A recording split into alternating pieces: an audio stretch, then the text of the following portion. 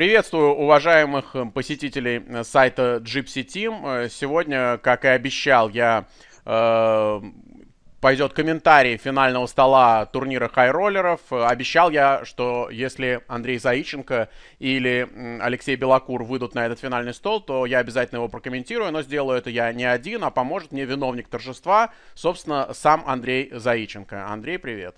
Привет. Привет всем слушателям. Ну, во-первых, поздравляю тебя с выходом на финальный стол э, в таком турнире.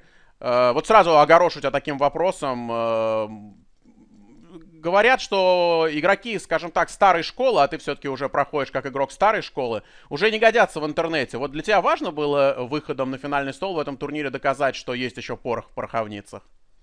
Ну, я тебе могу сказать, что я не знаю, кто там чего говорит. Потом вопрос старой школы очень э, растяжимое понятие.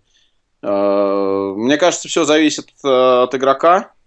Я думаю, что любой игрок, э, который хорошо играет, он может составить конкуренцию любому игроку. Вот. Безусловно, у молодых ребят, которые, которые сейчас играют очень много столов и постоянно это делают, конечно, за счет наигрыша они получают ну, перевес, конечно же. Вот. Но они его получают не только в одном конкретном турнире, они его получают именно на дистанции. Вот. Что касается одного конкретного турнира, то, в принципе, любой э, игрок, э, даже у которого, там, скажем так, не играет столько турниров сейчас, все равно есть хорошие шансы. И все решается в конкретных раздачах, и очень важно именно эти ключевые раздачи сыграть правильно. Вот, соответственно, вот и все. Ну вот э, первая большая раздача на финальном столе. Ну, на самом деле, перед ней э, игра шла на протяжении, наверное, я не знаю, ну, часов, наверное, полутора-двух. Э, никто не вылетал.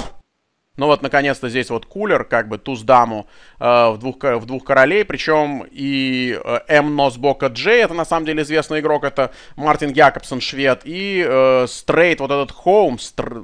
не будем уже, поскольку Бубна пришла на ривере, нам нет смысла запоминать, как читается его ник. Это довольно известный канадский профессионал Гринвуд. Но так Якобсону в этом турнире везло, что когда на флопе две бубны открылось, по-моему, мало у кого были сомнения, что для э, Гринвуда все закончится на э, девятом месте. Да, действительно так, потому что Якобсон выиграл просто все алыны. В начале, там, еще до призов, он поставил больше двух средних стеков с двумя валетами, закалировал 6 бет-алын. А, понятно было, что там либо тузы, либо короли, и показали тузов, но поймал валета на терне. И очень много он таких вот раздач сыграл, очень, очень не совсем хороших по математике, скажем так, а вот, но почти все выиграл. Поэтому, да, в сравнении с ним было тяжело. Но вот, э, тем не менее, в следующей раздаче достаточно аккуратно играет э, Якобсон, да, вот рейс с первой позиции, и он с двумя восьмерками играет просто кол, ну тут такой типа полукулер. Э, Туз король, вот немецкий игрок, делает 3 бет. Несколько неудобная ситуация из-за того, что такие глубокие стейки, да, вот что здесь делать с игроку с туз дамы, на твой взгляд? Ну, сложная раздача, не знаю. Наверное, кол надо играть. Ну, там истевая она, ее тяжело просто совсем выкидывать. Вот, поэтому 4 бет здесь глупо, руку в блеф просто превращаешь. Ну, вот так, собственно, что он и делает. Он решил ее в блеф превратить. Ну, восьмерки выкинут, понятно, а туз король, скорее всего, он задвинет, насколько я помню. Ну, собственно, так и должно быть. Вот, поэтому ну вот э, насколько удивительно, ну, тебе показался тот факт, что вот в этом турнире играл, ну, так много известных игроков, ну, а на финальном столе, ну, известный игрок Якобсон, известный игрок ты, называть вещи будем своими именами. И более-менее известный это вот Лазанья и 3М. Вот этот игрок, ну, написано, что Мальта. А на самом деле э, он итальянец. Это Мустафа Канит. Ну, достаточно крепкий, достаточно известный итальянский игрок. Насколько тебя удивило, что э, так много, в принципе, совершенно безвестных игроков вышло на этот финальный стол? Ну, понимаешь, все известные сильные игроки, они играли зверски агрессивно. Э, из вот таких игроков остался только, соответственно, Якобсон. Остальные все, они, собственно, пали, пали именно из-за этого они все упали, потому что они все выставлялись в пограничных ситуациях, там, э, не пытались вообще ничего сделать там с ICM, с каким-то там, то есть, ну, собственно, поэтому и они все вот так вот и очень сильно вылетали. Впарывались в более сильные комбинации и вылетали. Ну, а те, кто здесь играл, они все равно не так плохо играли, все более-менее на приличном уровне все играли. Вот, поэтому, ну, ничего особо удивительного тут нет. Но вот там действительно человек превратил туз даму в блеф, то есть поставил 4 беты, выбросил на пуш. Ну, честно говоря, да, мне тоже такая игра представляется странным, странной, но было бы, наверное, еще хуже, если бы он закалировал этот э, 5-бет пуш, потому что там понятно, что на слабой руке к нему Алын не прилетит. Тем более у меня ощущение такое, что вот Морис сыграл чуть ли не э, наиболее тайтовый из всех. Ну вот интересная раздача абсолютно да, эту раздачу. неизвестный да. игрок, да, в Френцах, вот так он э, хитро решил разыграть тузов, э, э, просто сыграл колл на большом блайнде, и вот открывается флоп, на котором, наверное, он бы играл чек-рейз, но такой возможности ему не предоставляется, потому что э, Лазанья, э, ну, будем его так называть, Мустафа Канит, это игрок, он э, делает чек в позиции, и по терну у него уже идет двусторонка. Да, хороший очень поймал терн. И сейчас, естественно, если ему туз или девятка выйдет, то особенно если туз, то совсем будет. Он, он в очень хорошей ситуации будет, и слоуплеерщику будет не очень просто. Ну, тут так. уже с двумя тузами, конечно, надо ставить. Пока. Маловато он поставил, конечно, надо было по логике надо ставить больше, потому что ну, потому что просто, не знаю, что-то если хочешь добрать, надо, чтобы тебе больше платили. Какие-то полбанка очень странные. Честно говоря, я бы ставил, конечно, больше.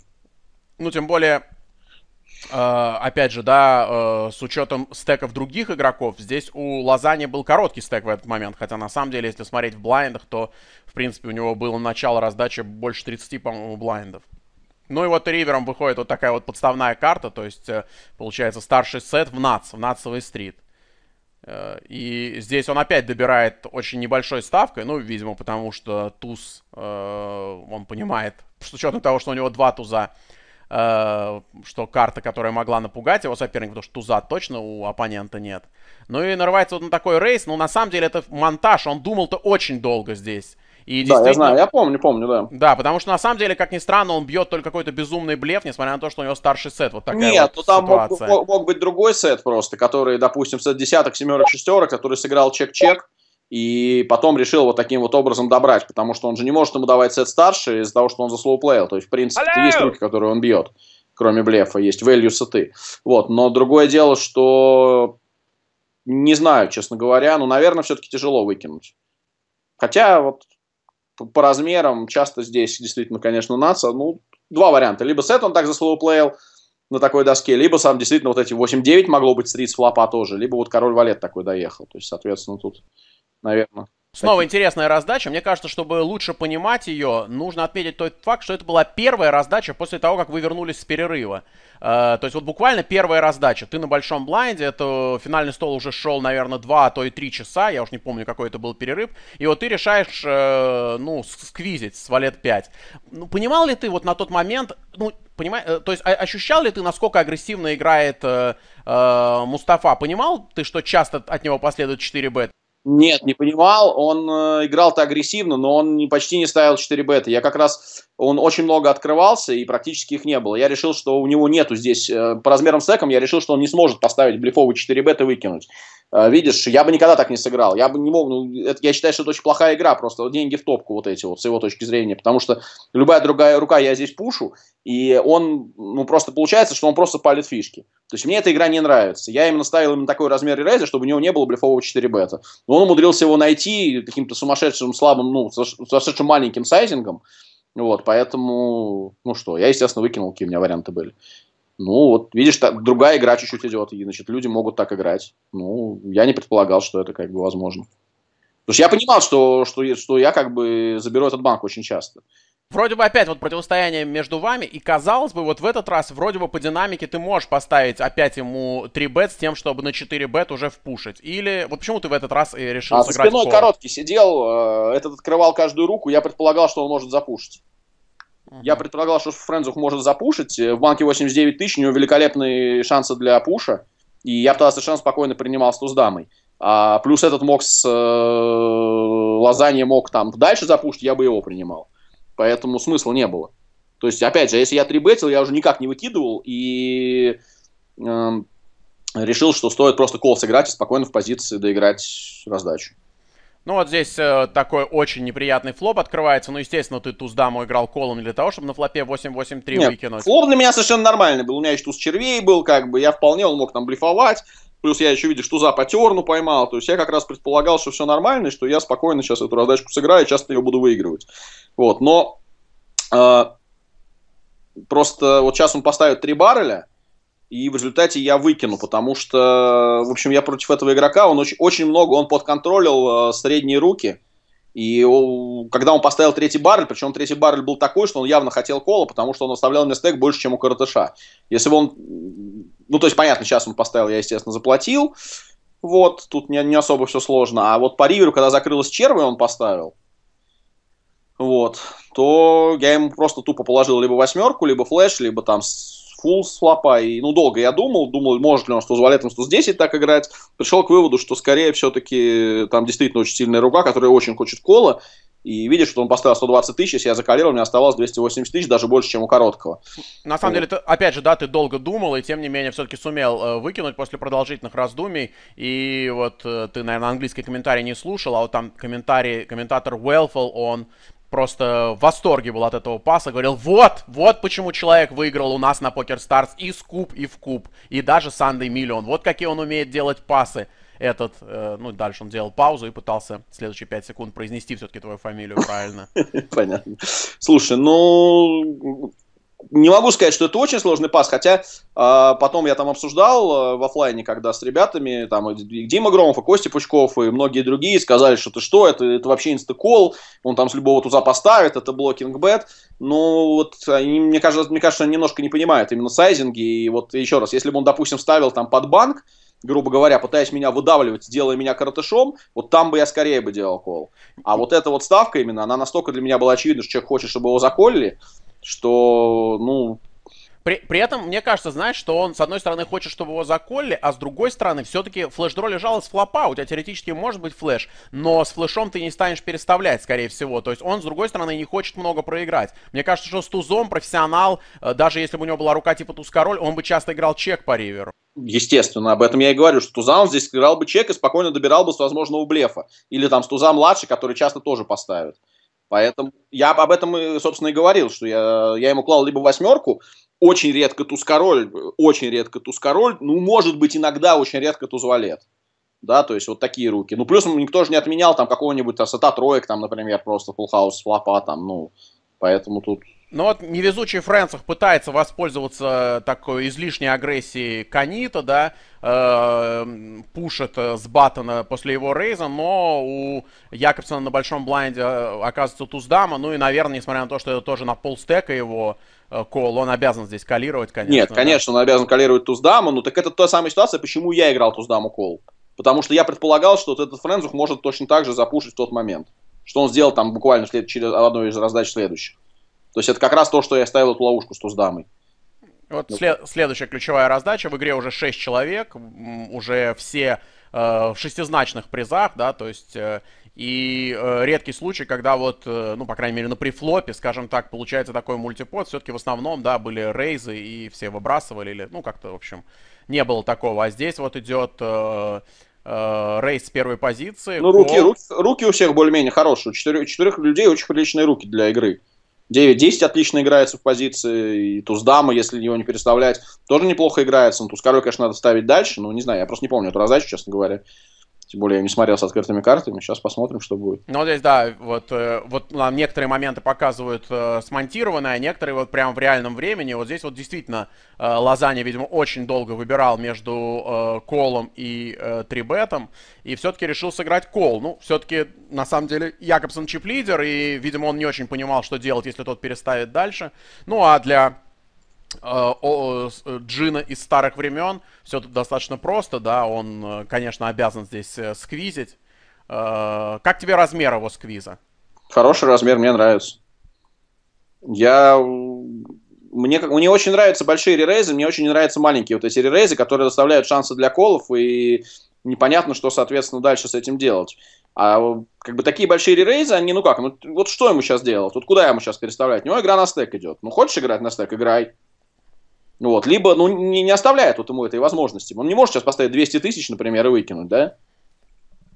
То есть это как бы, ну, ну, то есть он, наверное, может, как он мне поставил, но это плохая игра, бессмысленная. То есть он сейчас ставит тяжелое положение. Ну, рука слишком уж хорошая, да, для того, чтобы поставить третий стек и выбросить. Но он играет кол, Э, и в результате получается, что в банке практически его стек, то есть чуть-чуть э, э, больше. И открывается такой вот флоп, ну, на котором, наверное, неважно в какой последовательности, но понятно, что будет выставление, потому что Лазанья поймал свой флоп. Ну да, мне немножко не повезло в этом смысле, потому что, конечно, очень если бы сейчас Тускароль бы выиграл, у меня, во-первых, лишние 40 тысяч бы сразу прилипло, вот, и, в принципе, опасный, опасный достаточно соперник, который ну, поддавливал все-таки столик вместе с, с Якобсоном, он бы устранился бы. Ну, сразу пуш, кстати, наверное, неплохо, да?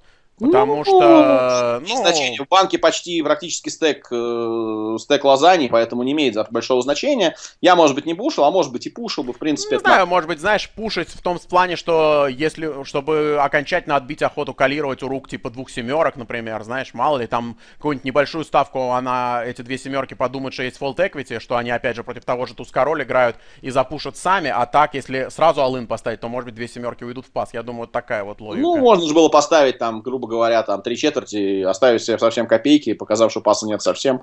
Ну, неважно, ладно. Ну, сейчас... Последняя твоя раздача, да, вот э, знаю, что про нее многие тебя спрашивали, поэтому тебе предоставлю слово. Ну что, у меня тут поднялись блайнды, у меня ровно 10М. Соответственно, Якобсон всех э, ну, вторых коротышей снизу, если они рейзом, всегда переставляют классическая ситуация. Соответственно, у меня тут 10 мастевые, против его переставления я всегда буду здесь ставить алын, потому что иначе он э, ну, просто будет меня даром фишки забирать. То есть у меня был два варианта. Либо я эту руку не открываю, а, либо если я открываю, но 3бет от любого другого я ее мог выкинуть, но 3бет Яксон не мог. Соответственно, естественно, я поставил алын. Вот. Ну, попал, соответственно, в, туздам, в доминированную руку, ну, проиграл, вылетел, там пика не закрылась. Было, было счастье близко, потер, но не пришло. Вот, ну, ничего не сделаешь. А, если я хотел играть за первое место, я не мог себе позволить туз 10 э, мастевые против Якобсона выкинуть, когда у меня стек 10. А вот, весь комментарий. А вот ты изучал других соперников по столу? Потому что, ну, э, очевидно было, что вот, наверное, как минимум на троих, то есть вот из тех, кто оставался в 6 макс, все-таки давили здесь деньги. Или, э, ну, и вот влияло ли это на твое решение? Или ты вообще, так сказать, особо не присматривался к ним? Дело не в том. Тут ситуация какая была. У меня 10 тем, короткий, естественно, будет сидеть до последнего. Если бы я сидел до последнего, то я бы просто, ну как, я полстека точно прокидал. То есть пока он бы не, не выставился, я бы, ну, мог разыгрывать только топ, топ руки. У нас идет 5 макс, у меня 10 М. Ну, у меня съели бы, ну, ну где-то половину стека, я думаю, меня бы съели. Я бы уже потерял всякую возможность, э, ну, конечно, какая-то она была, но очень маленькая, цепляться за первое место, за которое давали 580 тысяч. Ну да, разница была 44 тысячи вот сейчас призовых, но хотелось-то первого места. Ну вот э, здесь игрок, которому не повезло туз король, у него 12 блайндов, и это в три раза меньше, или даже в 4, чем у ближайшего, скажем так, э, кого он может настичь. И поэтому с Баттона он пушит 6-8 одномастные. Ну, наверное, это стандартная игра, тут нечего как бы комментировать, но не повезло ему в том смысле, что на большом блайнде оказались э, туз валет, и, в общем-то, здесь как-то без иллюзий по терну он уже абсолютно был без аутов. Угу. Сопернику э, закрылся стрит. И вот этот э, неизвестный игрок, э, по-моему, из Канады, если мне не изменяет память, э, занимает э, пятое место. Ну, то из э, оставшихся мы не представили еще вот э, Морриса. Ну, о нем еще у нас будет возможность поговорить. И вот Ури 10-13.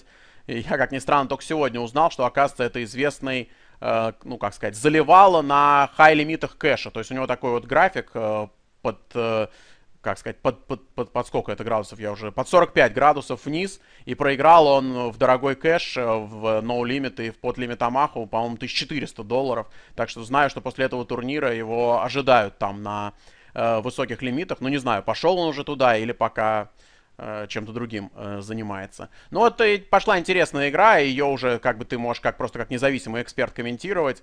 Э, Лазанья делает 3 бет э, на дама 8 разномастных. Ну вот и стеки такие глубокие, что, наверное, да, уже с мастевым тузом можно играть просто кол, да? Нет, кол здесь играть нельзя, здесь можно играть 4 бет. Кол 106 это что-то не, не очень не очень понимаю, что он там дальше собирается вылавливать без позиции. Ну, так вот туза поймать просто. Ага, и... Туза поймать. Ну, не, ну если поймать туза и потом э, заколить там пару баррелей, в принципе, можно, но не знаю. Мне не нравится такая игра. Если туз, у меня блокер, тем более этот очень активный, я бы, конечно, 4 бетил, но это уже другой вопрос. Ну, сыграл кол, посмотрим, что дальше будет, поймал туза. Дальше ему надо вытерп... ну, терпеть. Какие варианты? Если он решил так играть. Ну, одну ставку на флопе с тузом э, Лазаня, конечно, поставит. Блин, вот эти вообще ставки по, по третьей банка, они, конечно, меня, честно говоря, вот старая школа, новая школа, но вот эти вот ставки новой школы по третьей банка, это какая-то такая хинея, с моей точки зрения. Потому что, ну, они ну, их, на них невозможно выкинуть, они легко трибетятся. Ну, не знаю, Андрей, мне кажется, вот здесь-то как раз э, флоп с тузом, э, как ни странно, он такой, ну, достаточно суховатый, потому что, ну, это все-таки не туз 8-9. И здесь, если у Морриса не было бы туза, а была бы рука типа король-валет, ну, это, не, надо, ну, иметь, валет, это валет... надо иметь твою фантазию, чтобы как-то сопротивляться. Король-валет, понятно, а, ну, там, две семерки, две шестерки, никто же ничего не выкинет. Ну, не знаю, мне кажется, что... Еще ты нарвешься, еще ты на блеф легко нарвешься. Вот еще в чем дело. Тебе еще такую маленькую ставку, он имеет возможность там ререйзнуть на, там, не знаю, 180 тысяч, иди гадай, что, что, что он там поймал, что он имеет в виду. Может, там флеш-дро, может, там вообще что может, там человек сет флопнул. Что ты дальше будешь делать? В чем эта идея? Вот. То есть дал бы он там, я не знаю, ну дал, да, дай там, не знаю, три четверти банка и оставь себе возможность еще и потерну долбануть. Ну вот здесь э, э, Моррису, на самом деле, можно сказать, опять повезло. Ну да, он поймал, поймал соответственно, шоу-даун. Соперник шоу поймал его, да. Шоу-даун, да, и не продолжил второй баррель. То есть, поэтому сложно. Не знаю, что он делал на второй баррель. То есть, тут, понимаешь, вот они, с одной стороны, вот эти ставки, они, ну, они не баррелят. Вот, вот тебе говорю, три барреля он поставил единственный раз, когда он поймал трипс. То есть, в принципе, с ним все понятно по игре это было. Он не особо не блефовал. Он мог 4 бетнуть вот так вот в блеф какой-то или 3 бетнуть в блеф. Но вот, э, вот именно тяжелое решение на стек, там, когда он хотя бы два барреля очень сильных поставить, он, он не ставил. Поэтому... Ну это, ну, это тоже 106, ну что, ну поставь хотя бы. Что, в чем идея этого кола? Он поймал свой туз, туза, а дальше просто безвольно чек-чек, чек-чек. Ну да, не дал себя обыграть, потому что поймал туза. Если туза не поймал, что бы он делал? Просто сдался. Ну, в общем, какая-то странная игра, мне не нравится такая. Ну вот э, в 4 Max такая вот вязкая игра. Э, опять нам не показывают успехи вот этого Ури. Видите, и за кэш-столами обижают беднягу Ури. И в электронике его обижали, и здесь. Э, два раза он уже удваивался на финальном столе, и ни разу нам это э, не показали. Э, не политкорректно поступают по отношению к израильскому игроку. Ну, он слабоватый, конечно, играл. Я с ним достаточно, ну, по-моему, с самого начала с ним за столом сидел. Э, ну, как, ну, весь второй день я имею в виду. То есть, в принципе, он, конечно, слабоват, слабоват был. И вот нам показывают только крах Лазани. Вот интересная на самом деле ситуация, да, то есть он э, пушит э, сколько, 18 блайндов, а блайнды уже очень прилично выросли, в четвером они на самом деле долго играли. И вот э, Якобсон делает рейс первой позиции, э, пушит 18 блайндов, Лазани с малого блайнда и э, делает кол, причем не репуш, а именно кол на большом блайнде израильский игрок. Э, ну, во-первых, э, непонятно, достаточно сложно. Ну, здесь, наверное, должен выбрасывать Якобсон. Но как да. тебе кол израильтянином? Честно говоря, мне кажется, все-таки спорный с Туз-9 разномастный. Да нет, почему хороший кол? Что-то как агрессивно играл Лазань, у него он его покрывает вдвойне, он должен как-то бороться за ну, я считаю, что хороший кол, я тоже колю. Ну, а вот именно что кол, а не пуш, и если... А, нас... разница. а если нас бока Алын? Ну, кол, естественно, в смысле, что какая Ну, разница? тогда, наверное, лучше сразу самому это, поставить. Это значение не имеет никакого. Тут прекрасно понимает, что паса здесь не будет. Не имеет никакого значения абсолютно. Что Алын, что не Алын, ну, что ему. Ну, в общем, на сбока, конечно, ну, Якобсон пожалел, что он не закорил на двух шестерках, потому что там еще одна шестерочка, по-моему, ну, попадала. Да, он поснял двоих, и, скорее всего, тогда уже точно побеждал бы. Ну, наверное, невозможно там закалировать, да? Не, ну, возможно, почему? Все возможно, просто ну, решил, что не стоит рисковать. В принципе, правильно, наверное. Ну, а так возможно. Ну, что две шестерки иногда людям... Он же не проигрывает Алына, что ему не колить? Понимаешь? Мне кажется, ему это не очень сложно все. Ну, вот если посмотреть, он выигрывает все раздачи вообще, которые вот такие вот. Ну, вот здесь он, он чип-лидер, но в раздаче не принимает участие. И вот одна из ключевых раздач между игроками, которые в тот момент шли на втором, на третьем месте. Здесь Э, Моррис ловит совершенно сказочный э, флоп. Э, Ури не ставит ставку продолжения. Наверное, тогда бы он получил чек-рейс и спокойно бы... Да, и получает мертвую совершенно даму, которая заставит его платить. Ну да, Моррис, естественно, здесь уже должен э, э, добирать, но добирает он хитро. Он еще раз делает чек. Э, ну, не знаю, честно говоря, да. Ну, а если бы дама не совпала? А тот мог блефануть тогда. То есть, как бы на два чека обычно очень много людей ставят. Ну да, логично. Ну, в общем, план сработал. Да, план сработал. Дальше размер интересен, каким он будет сейчас ставить. Но да, он старой школы, видишь, так сказать, да больше, нет, чем надо, в три раза. Ну, добирать же надо, тут же надо добирать уже. Вот, но опять же, да, за этой частью турнира, по крайней мере, я уже не следил, думаю, что да, Андрей тоже. тоже, и э, поэтому трудно сказать, насколько быстро сделал этот Ури Кол. Не думаю, что он так прям ни секунды не думая чек-рейс закалировал, но, э, скорее всего, все-таки имеет место здесь монтаж. Ну, Ривер выходит... Э... Не, ну флоп он обязан говорить, в смысле, Терн обязан калировать, а Ривер на большую ставку он уже должен выкидывать, скорее всего. Потому что... Ну, потому что здесь нет почти никогда блеф. Тем более, когда король вышел. Блеф невозможен. Опять хороший сайзинг, да, он ставит 280 тысяч, банк 420, ровно 2 трети, ну и э, Ури не верит, делает кол. Ну, что он бил? Туз не, ну, просто 5, слаб, слабый игрок, треф. слабый, понятно, что слабо разыгранная раздача. Ну, можно придумать, на самом деле, туз 5 с тузом треф он все-таки бил, наверное, да? Может, как... Не, ну, можно придумать что-нибудь себе, конечно, можно придумать, но по факту, как, как, как здесь шла игра, как играли люди, это было очевидное value, причем с таким сайзингом, с хорошим, что и человек не испугался короля, который у тебя там случайно может еще с король дамы оказаться, ну, даже если у тебя там... Ну, короче, в общем, выкидывать надо, конечно. Ну, вот подтаял до 20 блайндов э, э, израильский игрок. А, эту но... раздачу, кстати, я неожиданно смотрел. Сейчас два валета поставит Алын, а этот умудрится на король 10 это заколить и выиграть. Это, конечно, фантастика тоже, тоже бредяйся на Ну как, ну он поставил уже сколько, 160 тысяч, а ему платить э, 430 доставлять. То есть ему надо доставить а, 430 ну, да. за банк 830. То есть, ну да, э, да, да, ну получается, да. 33 копейки ему нужно. Все-таки часто он все-таки там и две девятки же Алын поставит, да? Ну и, да, да, наверное. И дама, то есть, в принципе, он должен, наверное, здесь ну, платить. Ну, пограничный, ну как, ну, с его стеком может быть, конечно. Да, стек он не разрушает, но, в общем, как вы понимаете, да, для того, чтобы в таком турнире выйти в хедзап, э, э, нужно не только иметь вот такой аватар, как у Якобсона, вот такой у него грозный, я не знаю, кто это, Викинг, наверное, это какой-то Рюрикович, видимо, ну, не знаю, кто это. Скорее всего, это кто-нибудь из какого-нибудь э, вашего любимого сериала там, нет? С это, какого нашего ну, вот, я... Это все смотрят, как Я не смотрю, я книжку читал. Битвы и... престолов или может я это книжку оттуда? читал и сериал этот не хочу смотреть. Войны, битвы, не знаю. Сейчас меня собственный сын и большинство зрителей загнобят. Но, в общем, не только нужно иметь вот такой вот э, фартовый аватар, э, но и надо выигрывать алыны. Вот э, Якобсон и вот немецкий игрок Морис Ш. Вот, они, в общем, в этом преуспели.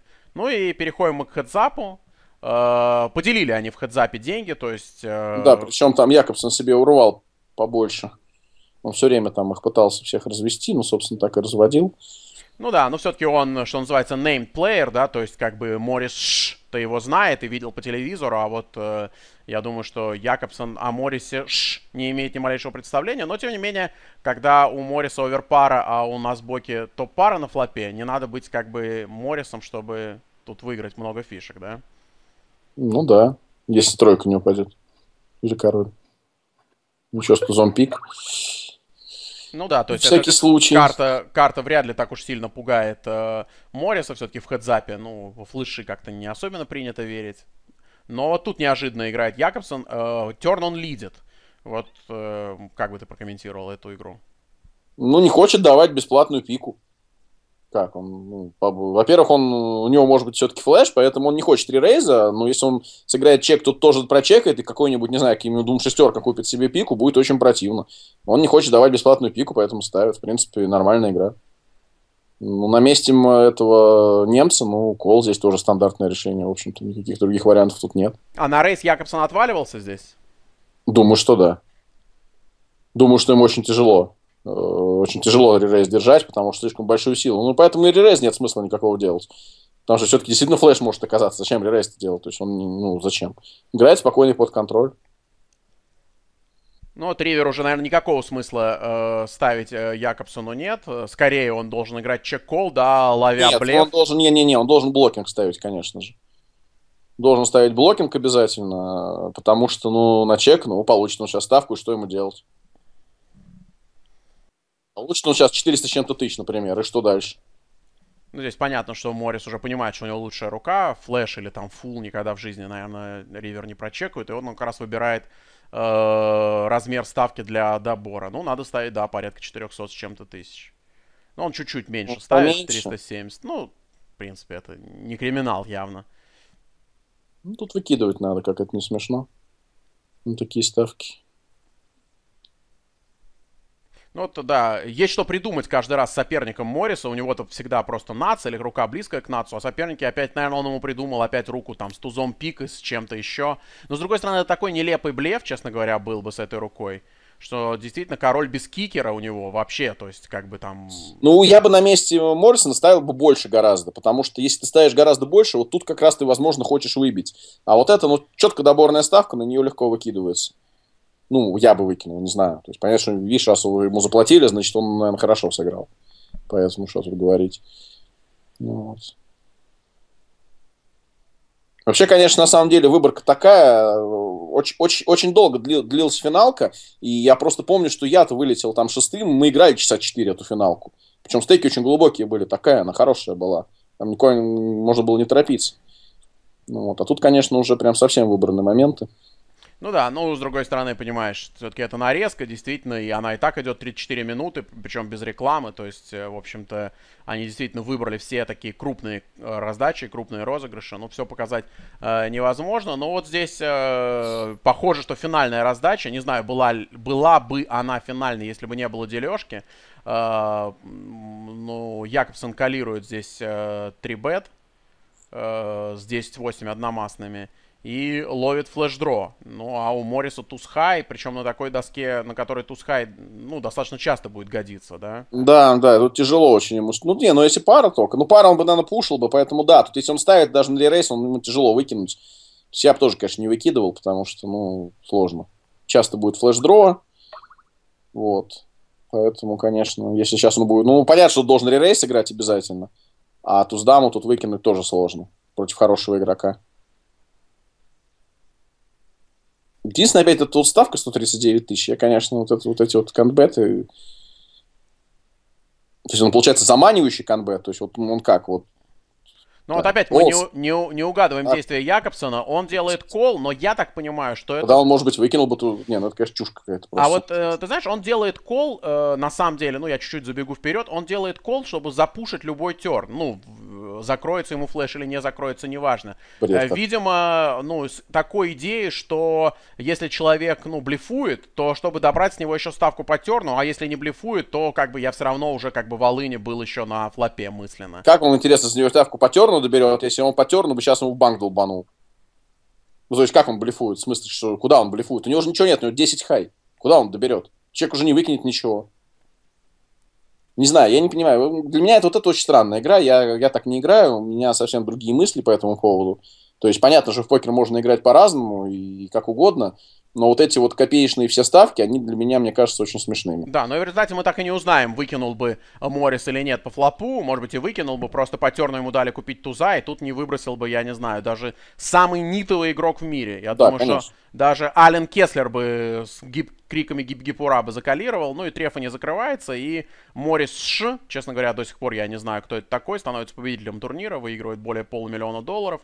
Но большие деньги выигрывает и э, занявший второе место Мартин Якобсон. Сейчас мы увидим вот э, таблицу э, призеров. Ну, ты знаешь, вот турнир по 10 тысяч долларов в интернете. Uh, ну, нельзя сказать, что прям грандиозное впечатление произвела игра uh, финалистов, да, то есть все-таки не боги горшки обжигают, и uh, все еще можно, в принципе, в этих турнирах да, показывать Конечно, не боги, совершенно нормальный турнир, абсолютно боевой, все в нем отличная глубина, все можно играть и пользоваться гиперагрессией людей, и там вот эти все звезды, у них там и технические бывают ошибки, вот, поэтому ничего тут такого нет, просто надо ну, играть, играть спокойно в покер и показывать свои сильные стороны. На этой радостной ноте мы с вами прощаемся. Благодарим Андрея Заиченко за участие в нашей программе. Для вас работали Андрей Заиченко и Илья Городецкий. До свидания. Всем спасибо, всего доброго. Пока.